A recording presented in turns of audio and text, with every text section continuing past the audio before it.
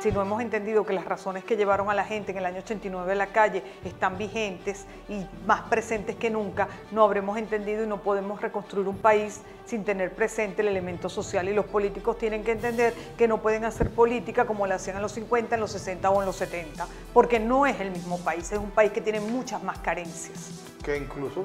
son ya casi estructurales, son estructurales y es lo grave del problema, porque corregir la falla requeriría una especie de plan Marshall, ¿no? Como que si en Europa después de la Segunda Guerra Mundial.